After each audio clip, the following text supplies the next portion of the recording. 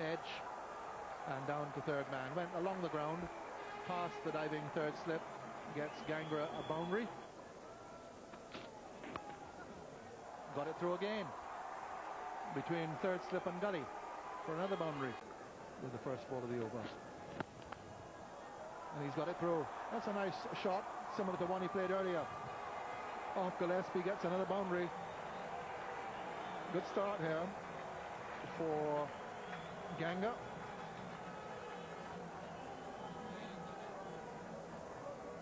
Very similar to the shot he played at the opposite end against uh, Gillespie for a boundary. Nice straight bat and away it went for four. In the commentary box now, Michael Holding and with him, Jeffrey Thomson. Not a bad shot at all, that from Darren Ganga. Everything correct where that ball was concerned. There's his half century. Chance around Lee hits, he's very close, and will it go for overthrows? No. So few head and hands in the head of the Australians. It must have been very, very close.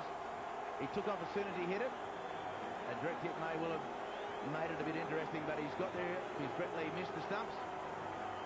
So half centuries to both players in the same over.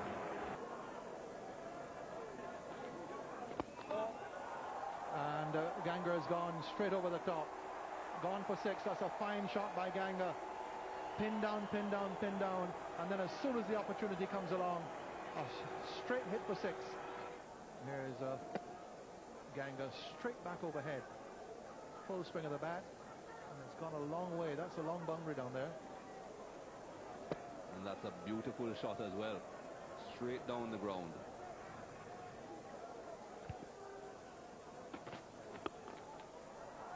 Brilliant piece of fielding. When you've got your opening bowler can do that at extra cover, you're okay. He's had a bit of a dirty day in the field. He, he's been uh, Pedro Lee for a bit of the day.